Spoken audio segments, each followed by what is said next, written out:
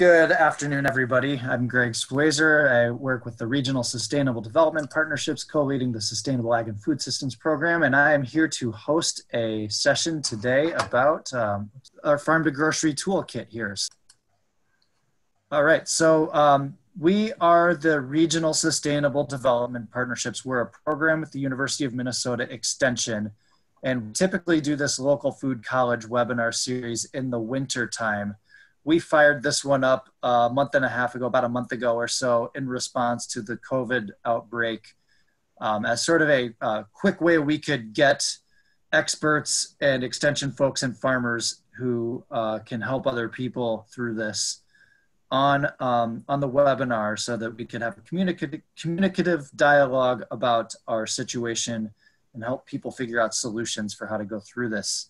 So um, here we are now. We're about at about the sixth, fifth or sixth in our series, and um, every Tuesday and Thursday we do this from three to 4:30, and so occasionally um, new ones will get added on. So if you've registered, I think you'll be able to keep up with. Uh, we'll, you'll get emails, but so if you're interested in um, keeping up, we'll be doing this about twice a week, and we'll see you in the next one too.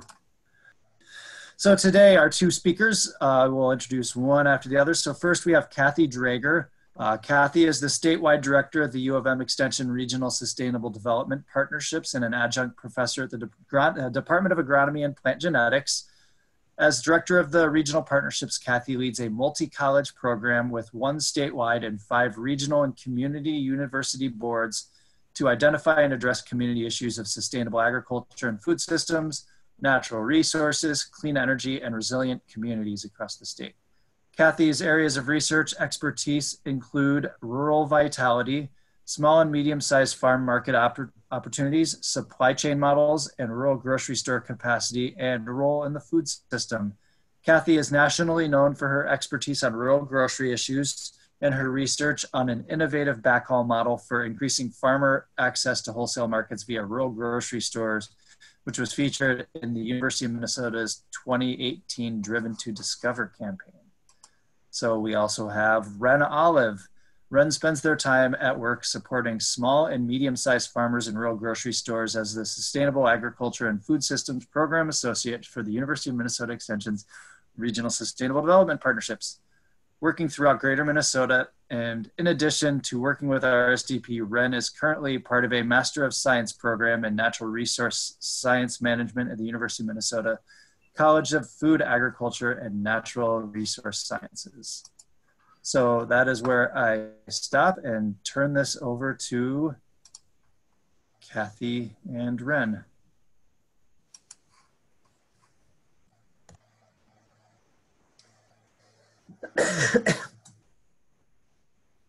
All right. Hi, everyone. Um, I did not write that intro for myself. It was really long. Um, I'm Kathy Draeger. I'm glad to be talking to you about farm to grocery stores. Um, in addition to working uh, with the University of Minnesota, I also farm with my husband and our three kids in rural Big Stone County, Minnesota, which is on the western side of the state. And I just wanted to say welcome to everybody from around the state and beyond. We have a couple people from out of state joining us. And so, so welcome to all of you and thanks for joining us today. Ren, are you gonna advance the slides? All right. So today I'm going to take like the first few slides. I'll give you the big picture of what we are working on with this farm to rural grocery work and our rural grocery work in general. Um, but I'm, I'm going to spend a little bit of time talking about our rural grocery response to COVID-19 because frankly, farm to rural grocery only works if we can keep our grocery stores open and healthy and thriving, which has been something uh, those of us at the regional partnerships have been working on for about 10 years. Ren is going to take over and talk about the farm to grocery toolkit. And then our favorite part, which is instead of doing a monologue, we get to answer your questions and have more of a dialogue about this work. So we have been, as I said, working on rural grocery work for about the past 10 years. We were really inspired by the 2010 National Rural Grocery Summit at Kansas State Um, and we sent staff there who came home and said, there's some there there. But I'll say that even before that, the regional partnerships, which has five different boards around the community, uh, I mean, sorry, five different boards around the state, um, one in each region of greater Minnesota, that uh, we had rural grocers who served on our boards and helped us be aware of what were the issues that these small town independent grocery stores were facing. Now, if you picture the state of Minnesota, for those of you who live there, I mean, we're we have about um, at this time in 2020, we have about 250 small town stores in communities with population 2,500 or less. And um, we'll have a map later that just shows you the location of 70 of those stores. But if you picture a map of Minnesota and you put 250 dots on that outside of communities, outside the metro area, outside of Duluth, um, you know, Rochester, St. Cloud. So think about throughout the greater Minnesota. That's a lot of dots. That is a lot of points of access for communities to have to a full grocery cart of um, healthy food. Those small town stores are really an important part of healthy food access throughout our state. Um, so having worked with them for a number of years, having done some surveys that had a very uh, robust response from the grocers, uh, we had an idea of what issues were being faced. And so we started working on some of these toolkits. Um, well over a month ago, I, I'm, I, am i am going to say our rural grocery work has four kind of, at this point, four kind of overarching goals. And these are being done in four phases. So the first phase was really thinking, um, we started this about the first week of March, saying, knowing that we were having a pandemic that was starting to spread across the world, what do we need to do to help communities build a little reserve for their vulnerable community members? And one of the ideas that we that came to us was developing this emergency 14 day meal kit which was something that a community group could purchase, the grocery store could package, and then volunteers, excuse me, volunteers could then deliver to um, elderly people who really should be staying, you know, isolated, or if a family happened to uh, uh, contract COVID 19, it would be a, a, grocery kit that could be delivered to that family. Um, and I think I saw Dr. Abby Gold is on this uh, seminar. Hi, Abby. Uh, Dr. Gold was instrumental in helping us take a look at this kit and kind of putting something together with the following criteria. It needed to be food that was available at these rural grocery stores. So we walked up and down the aisles. We took pictures of what was in a, a small town store, making sure it was food that was available that it was something that a person could prepare if they weren't feeling well. So it wasn't like a bag of raw lentils with uh, spices. It was, I hate to say, but you know, more, um, it, it was more things that someone could prepare easily if they weren't feeling well, or maybe they were elderly and not used to cooking more, uh, you know, complicated meals for themselves. We wanted it to be affordable, and it was important that everything in those boxes was self shelf stable. Because if a community group ordered, for example, 10 of these 14 day meal kits, um, that might sit in a church for a week or two. We didn't want it to be something that was going to spoil if a community was going to have these kits on the ready for their community members. So we deployed this meal kit or, and um, it's really taken off around the country, around the state. Um, I received a call from one of the Native Nations earlier this week um, uh, asking if they could reprint this and send it out to the members of their uh, community. And absolutely, yes. But basically, it is a simple shopping list with a simple set of basically two meals and a snack a day. And um, and that is available. People can download that, and we've gotten calls from counties, cities, nonprofits, tribal communities, um, any number of folks who uh, I think I think the beauty of this is people just needed a little uh, instruction, and there's a, an actual shopping list in this in this meal kit plan, so that you can just go to the store and pick it up. All right, so that was phase number one. Phase number two was a lot of these small town stores have maybe one or two full time workers, and we started hearing some concerns. What if the full time worker in that store gets sick? Who's going to keep the doors open? Who's going to order food? You know, make that store continued to work. So we went out looking for what models were being successfully deployed by other stores. And then we did very simple one, two, three steps um, on how you could move from being in store shopping to having a call in curbside delivery, uh, curbside pickup or delivery option. And we actually modeled this on a store that we watched go, go through this transition. And so we, um, that was, that is the simple instructions. You can see it on your screen right now, but really saying, how could you do this in a way? And we published that on March 24th. So that's been in the world for almost a month now. And I will just say over the weekend, CNN, um, actually, I, I was interviewed by the, the author of that CNN article, but he didn't, didn't mention our conversation in it. But CNN put out an article saying, is it time that we move to stopping stores from having in-store shopping and go to curbside pickup and delivery in order to keep the grocer safe and limit community spread through shoppers.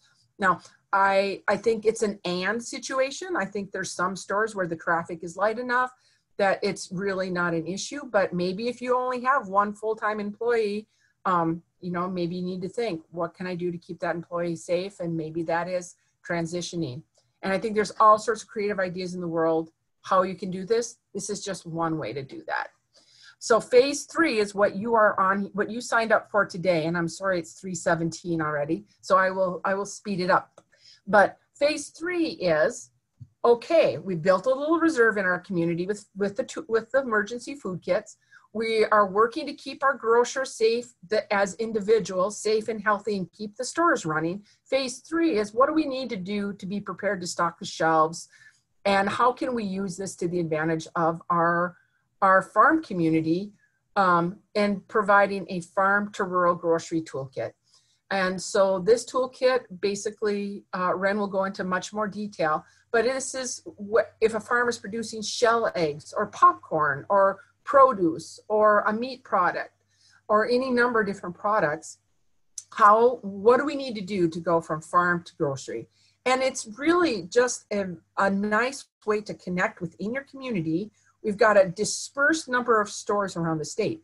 Even my county, with a population of 5,000 people, has three rural grocery stores. And I think all three of those stores do carry some farm, um, local farm produce and products in that store. So you can see that even in a more sparsely populated area, there's still multiple opportunities sometimes for a farmer to connect with their small town grocer.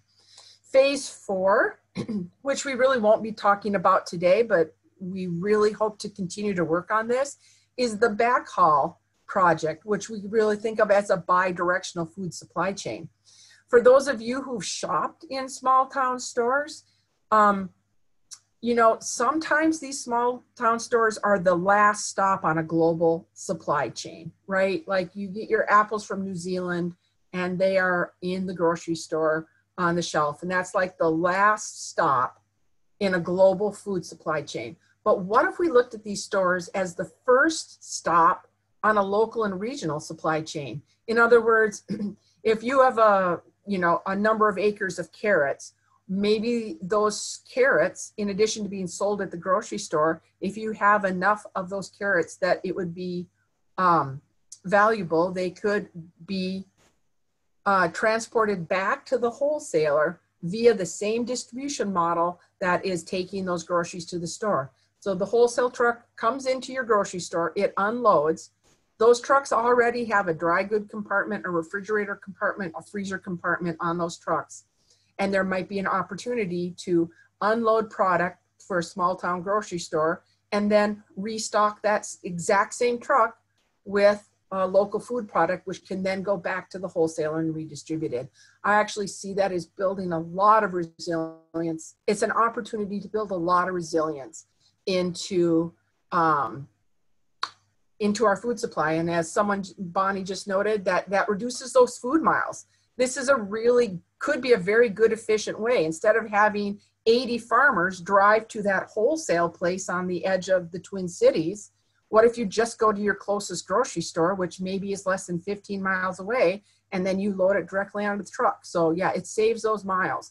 And one of the wholesalers we worked with, oh, I wish I, I wish I'd written this down. I think he said their trucks traveled like 25,000 miles a week, over 20,000 of which were empty, right? So, and you've already got the routes in place, the stops in place. So we've got a lot of assets. So I think what's encouraging about this work we're doing with these rural grocery stores is we are really looking at them as important assets in the food system in your area.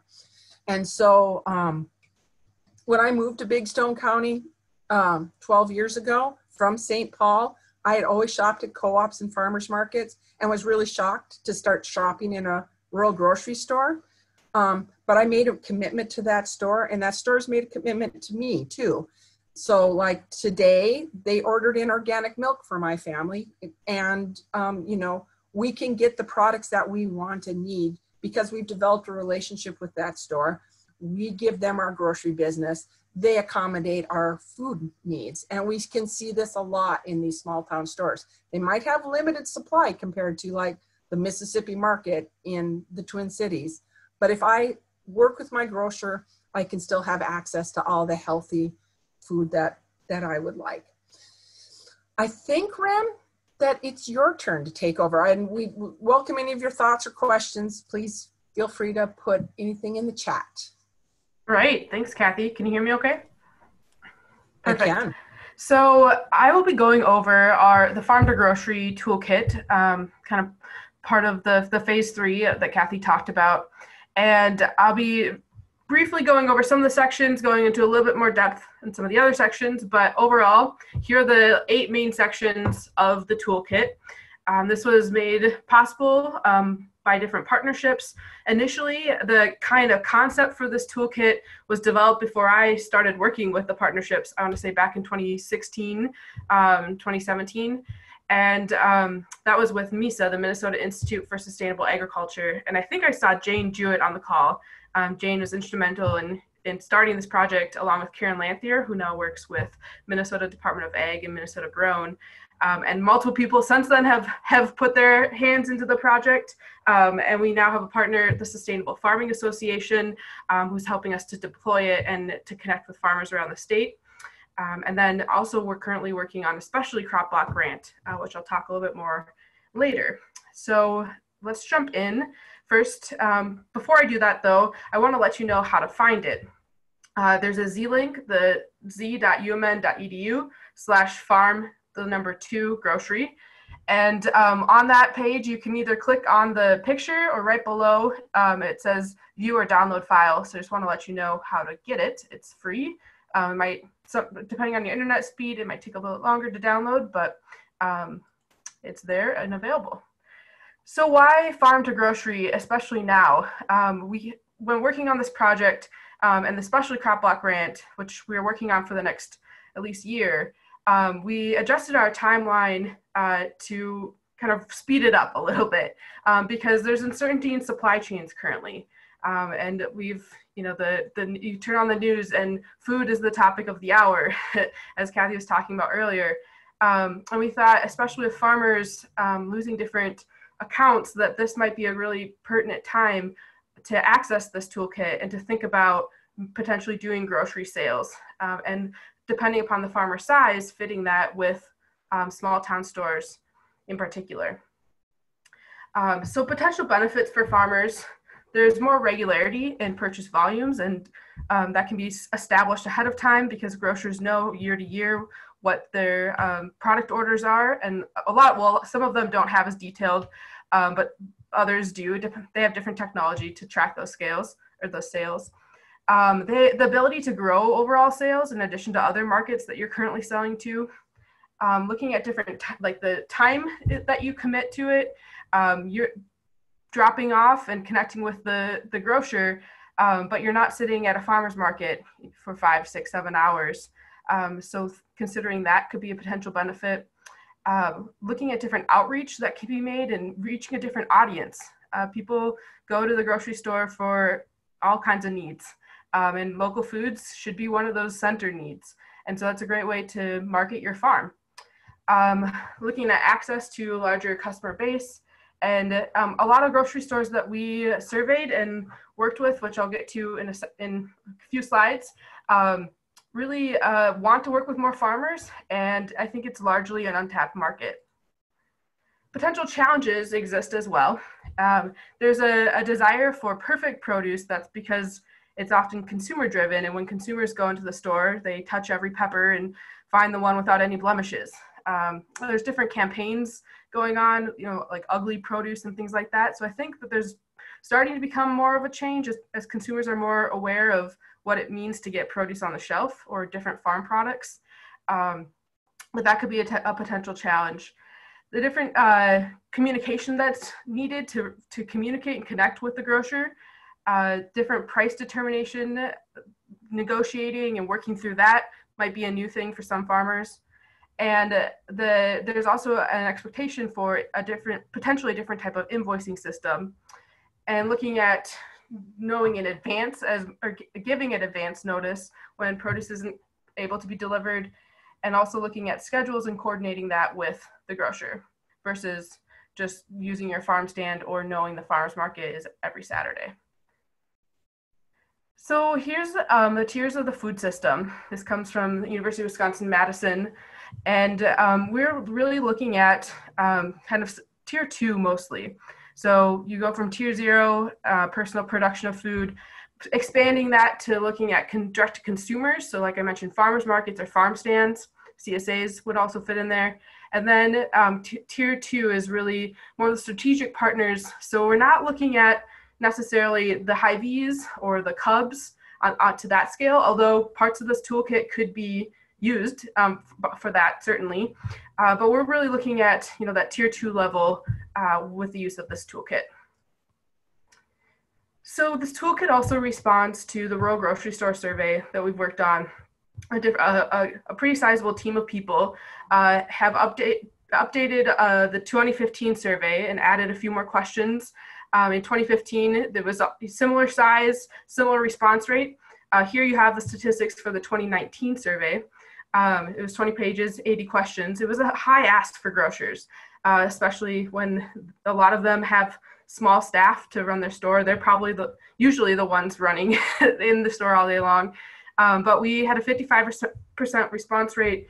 Um, and with that, uh, one of the questions that we asked was Have you turned away any farmer selling locally grown and or processed foods because you were uncertain about the regulations for purchasing food directly from farmers?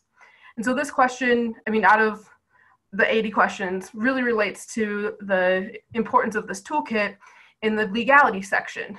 Um, because 29% of the, the, the grocers who answered said that they had turned away farmers. Um, another 22% hadn't even been approached by farmers. And then 45% uh, do purchase from local farmers. So I think that that gives us um, you know, shows us the potential to connect with these farmers um, and especially address that legality um, issue of, of farmers being turned away. So in response, the second section of the toolkit is called legality and method. Uh, and this is a tool for both farmers and grocers. And it's something that um, it, there's a lot of resources in it and links um, and also like statute, Minnesota statute to refer to. Um, some of the highlights are looking at what is it product of a farm mean? Uh, what about adding off-farm ingredients or different like a Minnesota food handler license? And also really impressing upon the importance of food safety in, in making sure we have a robust local food system that's accessible through our grocery stores. The different products that are covered, the local foods in this section, um, are fresh produce, meat and poultry, eggs, gra- grains and dry beans, dairy, and uh, bakery. Um, and so there's a page on each of these that goes into detail for that product. And for our limited time, I'm not going to go into detail of each product, um, but really rather want to let you know how to find that information. Um, and I should mention too, we'll, we, we plan on hosting workshops, which I'll talk a little more about, um, and where we will go into depth on the, the, you know, the legality method of each of those types, depending upon who shows up. But for this purpose, I'll keep it broad. So the third section is the legal product checklist. And this is really one of those tool parts of the toolkit. Um, there's actually spaces, these are just a couple of the pages that are part of the, sec the section, with spaces to actually check off with the grocer um, and farmer both, like to review uh, what kind of license is needed, depending upon the level of product or the type of product. And again, it goes through those different categories, the produce, dairy, um, etc. Um, and then there's also a place to sign off um, to say I, you know, acknowledge and affirm my responses. Um, and it's just kind of a way um, for the, the questions that, that grocers have in terms of turning away farmers, if the farmer can say, actually, I don't need a license because, or I have this license because, um, is really just a way to strengthen that relationship and that trust. With the survey, the Rural Grocery Store survey, we also sent out this comment card. Uh, and it was a way for, for grocers to connect with the U of M and other partners um, to have more of a reciprocal relationship to this massive survey that, of, and asking of the grocers time for them also to access different resources that are available. Um, and one of those questions that they could check was number 48, as you can see in the red box. I would like help connecting with local farmers to buy products, fruit and vegetables, meat and cheese, or other local food items for my store. Uh, and 58% of the people who sent the cards back in um, said that they wanted to connect. And we were able to get their contact information. Uh, and again, these are stores that are in populations less than 2,500, um, and they're the stores that we found through various means, um, collected their addresses on and sent the, the, the survey, and they're the ones that answered. So all these red dots around the state are grocers that are interested and want help buying from farmers. So I think this is really promising and exciting, um, and this is what the Specialty Crop Block Grant um, that we have from the Minnesota Department of Ag that we're working with the Sustainable Farming Association on. Uh, we want to do more work, and this is kind of a starting point for us uh, to start making those connections. So the fourth section of the toolkit is building a strong business relationship. Um, and different conversations I've had with um, farmers, uh, this is something that comes up quite a bit about what are the expectations um, you know what do i how do i approach what do we talk about um, and on the grocer's side they're kind of very used to different um, uh, different uh, vendors coming into their store you know on a pretty regular basis um, so we really wanted to provide a resource for farmers and also grocers to help ease this relationship um, communication is key and the toolkit covers purchasing communication quality, display, shrink, or waste. And then also different considerations for pricing, explaining what margins are, a margin calculator, um, looking at packaging options, and then also exploring different pathways for sale. So direct buying from farmers, uh, renting shelf space, and consignment as well. Um, and we also feature, you know, the resources through Minnesota Grown that are low cost or free uh, with membership and available to grocers and farmers as well. So here's what that section looks like. Again, this is more of a tool part of the toolkit with space to write in on the page as you to take notes as you kind of go through these different um, topics and discussion. The goal is to have the conversation uh, in the store with between the farmer and the grocer. Um, so purchasing is the first ca like category covered, considering different price types of product, um, how much, some of those more basic questions. Um, the invoicing piece, rem you know, remembering to ask that question, does the grocer do it in a, in a particular way or uh, does the farmer already have a, an invoice that will, will that work for the store? Um, and then also how is the negotiation over price going to happen and just kind of thinking about that and saying it out loud um, to avoid um, confusion and or frustration. Communication then, um, so how frequently would the store need new orders to be ready? How will the farmer and store communicate about purchasing new orders? Will there be texts? Do you have the grocers you know, text number or the, does the grocery have the farmer's text um, or is email preferred or phone calls? And then how soon does the store need to know about product shortages? Quality is the next category, um, discussing packaging and presentation, looking at different sizes, what is, um, what do the consumers expect, uh, how is the product packaged, um, there different industry sizes that the grocer would prefer, uh, and then also what happens to um, will the store re- ever refuse product or reject product? Um, and what what does that like mean or what are those uh, specifications?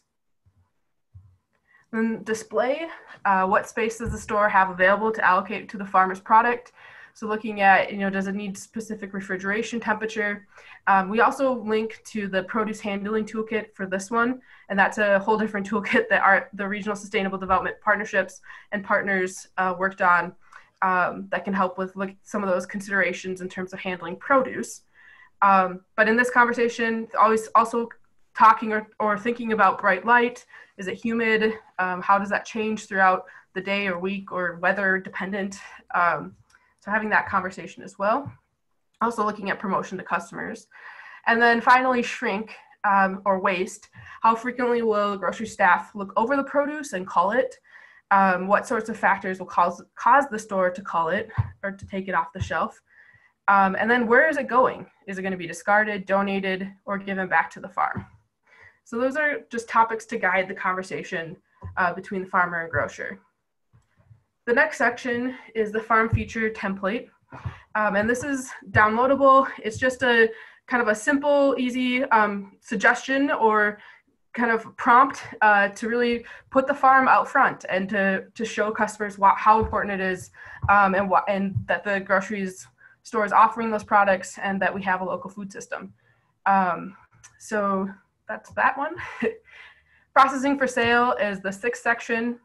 So why process local foods? Um, the section kind of talks about the broader market reach that's possible, different consumers with specific needs, uh, especially, for example, um, elderly population where cutting squash might be um, a challenge. So they having an option to have cut squash would be great.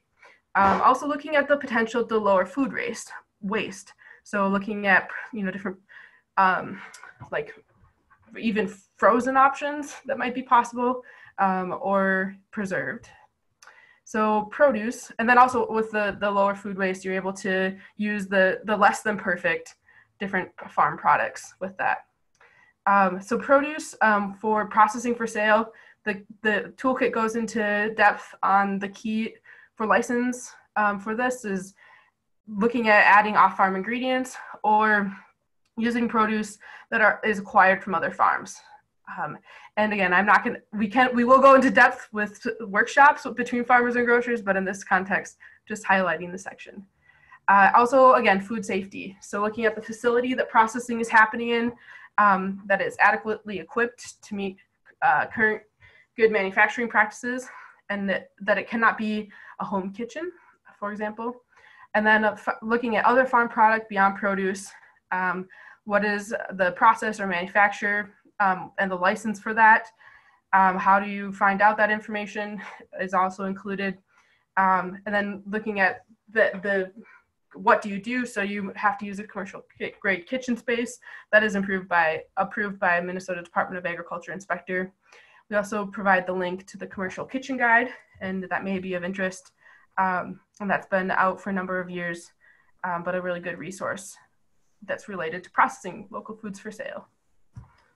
So Ren, can I uh, jump Yeah. in for a second? Give you the give the chance to answer some of these questions. So a few Oh, sure. questions have been Yes. coming in through the chat, and we've been kind of responding um, in the chat. But it's I think a good opportunity to um, hear it uh, from us uh, out loud too. Uh, one of them was uh, someone up in Duluth is looking at the map of grocery stores and wondering why there are so few in the area in the Arrowhead. Um, was it that there are not that many existing stores or weren't able to reach out or there's a low response rate or, or what? I mean, do you have anything specific, specific ideas for the Northeast part of the state, why there were so few stores? Yeah, so this one, so that's the picture of the map. I can back up a little bit. Um, that one was of stores who wanted help connecting to farmers. So that wasn't all the stores that were surveyed. Those are just the ones that filled out that comment card. Um, they're We only, stores. we only surveyed communities of 2,500 or less. So it didn't go to Moose Lake or Ely or Duluth, Grand Rapids, some of those communities. Simply, we, that's, that's not the scale we're working at. We're working more on the small town scale. So it excluded some of those larger communities as well. All right. Um, so let's see. What else do we have here? To, to asparagus. Yes, this is a good opportunity. Asparagus. Let's see. We got to scroll back up for the question here. Teresa, what would you? It's something about testing asparagus. Uh, asparagus is one of the first crops out of the fields, and a lot of people have lost their markets with restaurant closures. Are rural grocers interested in seasonal supplies of asparagus right now? Do you think? I mean, I think it's worth asking and and reaching out to them. Uh, they currently have asparagus because as the crop uh, comes in in the south, it continues to be sold in you know across the supply chain up into the north. So I know there is asparagus in rural grocery stores right now. Um, at least there was a couple weeks ago, and so um, but I still think the local, you know, put the Minnesota grown label and and test it with with some of our grocers is is a good idea. So, and someone asked um, too about our grocers trying to be more nimble and flexible to take on super small growers, especially new and emerging producers. So, uh, my thought would be as you're building those relationships if you've never met your grocer never walked into their store you know you want to buy i have a friend who literally brings coolers with her to the cities and stocks up all her food and then drives it back out to the country. Like if you wouldn't if you don't have any relationship and you walk in and say buy my food they may not be as receptive. But if you're someone who does get to know your community and your grocer then i would say you know there's a good chance that the grocer will want to work with you as another you know business person in the community another community member. Um, so i think i know one of the first sections in the toolkit is about or is about building those relationships. So i think that is part of it. I think we also have to consider the the risk that the grocer is taking. Um, if someone comes in and wants to sell arugula and that grocer has never sold arugula and someone comes in with a bushel of it, you know, the grocer is going to say, I, I don't know about this crop. I'm not sure it would sell. So I think um, there's also a section here about um, business, business models. And, you know, you might need to sell some of the first time you sell food to a small town grocery store, say, I will do this on consignment. I think your customers would like arugula, and I'm going to put on my Facebook page that they can get a, organic arugula on Main Street, Hancock, Minnesota, or something. Um, and then, uh, but you could say, but if it doesn't sell, um, I, you know, I will sell it on consignment. So you pay me for what sells in the grocery store, and let me know after three, four, or five days if none of it has sold and you weren't you know you as a farmer weren't able to generate any word of mouth like hey you wanted our organic arugula, you can find it now here and here and here. Um, so I think there's a shared responsibility for that risk between the farmer and the grocer because these grocers work on extremely, extremely thin margins. And um, so that's why um, I, I, have seen the consignment. So I saw Melissa said um, about her local grocery store does not have a misting system. So everything, this is the other thing I've seen, Melissa, in a grocery store is they'll put a sign up. They don't have a misting system, but it says, if you want celery, ask me. I will get it out of the back cooler where it, it, it's in better shape and quality because it's not one of those open air coolers. So some small town groceries use a system like that. Um, and yes, I've seen that consignment model work. Um, the one of the stores um, had commodity eggs for like a buck 25 a dozen and a grocery and a farmer said i would like to sell my free range farm fresh eggs for 325 a dozen and the grocer said i i don't know if our community will pick your brown eggs for 325 over our white eggs for a buck 25 and so the farmer said well put you know put 20 dozen in the cooler case What sells, you pay me for. What doesn't, I will take back home. And um, over time, that store actually built up a following so that people would call and say, Do you have farm fresh eggs today? What day are you expecting those? Um, and people were willing to pay um, double for uh, that farm fresh product. So, but the grocer doesn't know that. And are they really going to take a risk on spending $60 on eggs, which maybe no one will buy? So I think a consignment model is a good faith way for small farmers to build that relationship with the grocer um, and share the risk that the grocer might be taking by putting something that hasn't been in their store in their store. Here's another question for the both of you that was uh, further up in the chat stream, but um, how are we all collaborating with um, and consulting with our tribal communities? Uh, so I did respond in the chat group that we yep. have five boards around the state and we have uh, uh, Native Nation members from our Native Nations on um, most of our boards around the state. So we do have, you know, some good lines of communication, um, but we are always open to more collaborative relationships. So um, if we, we would be more than happy and will and are doing outreach um, as part of our specialty crop grant, and that will include outreach to our uh, the Native nations that we share our geography with. Ren, did you have anything else on that? You're nope. really going to be. Yeah, that that's what I would, would say as well. I can say with our the ready response um, with the rural groceries, we have um, worked with them with getting the curbside um, and that that grant that's going on right now with the curbside setup. So we've been working in the Northwest with with some of the native uh, communities on that. Great. Any other questions? Um, here's another one that uh, showed up now that I think of it. I've loved uh, seeing creative stuff like a rural co-op opening up the fridge space for food hubs and online farmers markets with uh, small producers taking on small producers versus taking on small producers in the store. Yeah, some of the grocery stores um, also the independent stores offer their parking lots for farmers markets as well. So definitely is willingness to be creative. All right.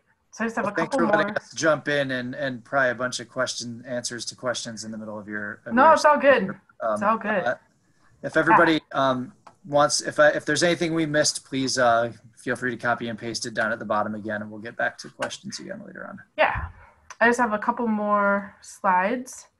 Um, so the the seventh um, section of the, the toolkit goes into product or sample product labels and what that might look like, what should be included, um, looking at, again, those the product categories, the produce, meat, eggs, etc., grains. Um, then there's a section on invoice template. So what are the different parts of an invoice? What do they mean? This is more basic. Um, so intended for a, farmer um, who may have not worked with creating an invoice. There's also a template to download and adapt on your own to use um, available with this section. So um, with that, we're looking at what's next. So here's that map again of the grocers who want help connecting with farmers. And these are the less than 2,500 people who answered the survey and the comment card.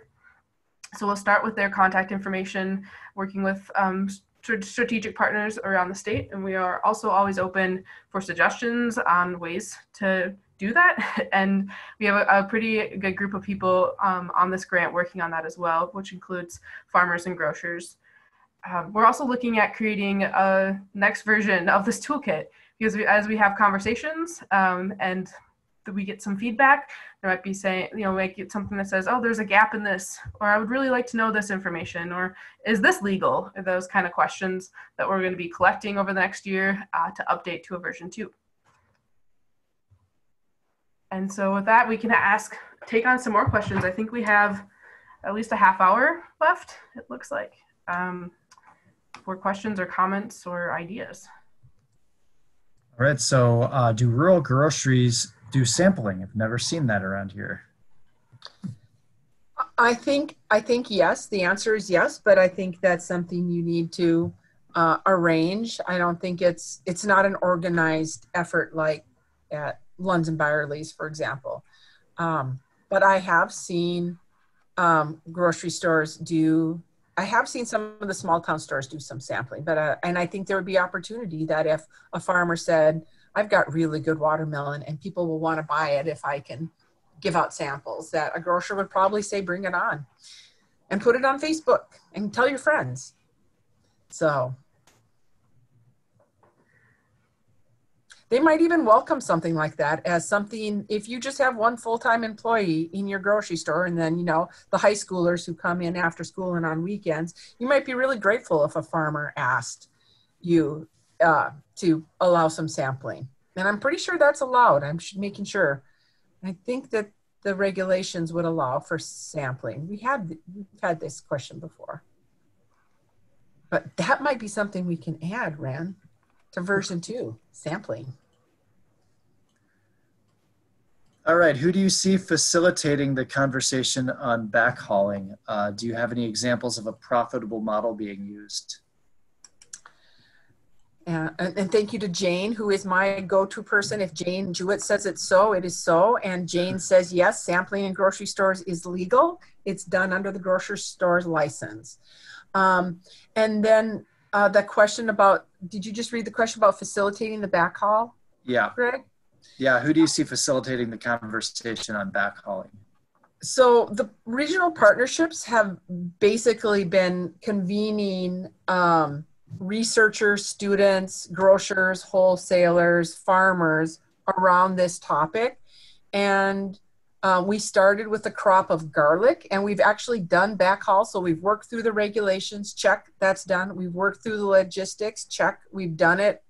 Um, garlic um, we use that because it's shelf stable it's a low food safety crop and it's high value and it's kind of compact so it's not like if we started with watermelons you know which are giant and need to be refrigerated and need to be sold before they you know in a certain time period.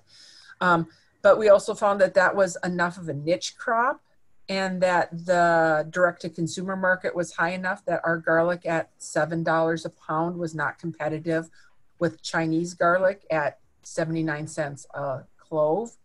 So, um, so we still are struggling with how we balance the consumer demand for a, crop like garlic, which there's a night and day difference if you're a foodie between the garlic from China and the garlic from, you know, a local garlic grower. Um, so we're still trying to balance out the the what crops are going to work well and how we can do this. But we know we've checked a few things off the list. Um, as far as will it work, is it in in its feasibility? So I would say the partnerships are um, really trying to continue and host that conversation around the backhauling. And I think this this might be you know as we as our food supply chains as we're seeing with meat and other things as our food supply chains are in for a little bit of a shock from COVID 19, um, that might be a time to have more open conversations about, you know, um, our cheap food policy and uh, more efficient ways of building these regional and local food systems, which I think backhauling would fit really well into. All right. So a note here um, that although um, sampling in a grocery store or a farmer's market is legal, it's not legal right now. So that was ju just to clarify. Um, the, under the current situation, nobody's going to be doing food sampling, but typically it's something that a grocery store can do with their license. Um, all right, another question here. What is the range of invoicing systems? Can you provide any examples? So the toolkit looks more just of a like you, what does the paperwork look like the actual invoice itself? Um, we don't go into depth on like electronic or some of the those other tools that are available but that has my wheels turning and i think is a really great suggestion to add.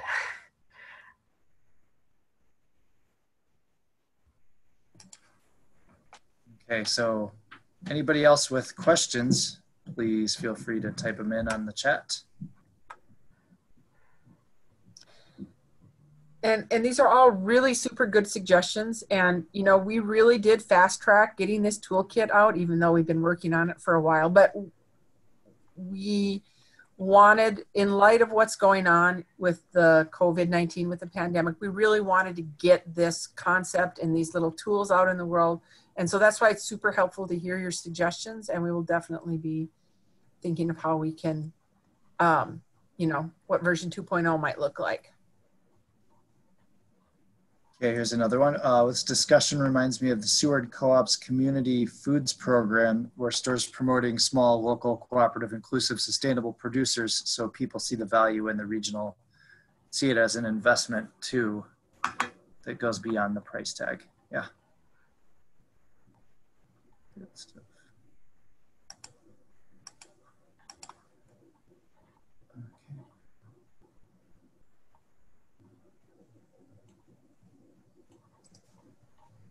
Anything else? Anyone else?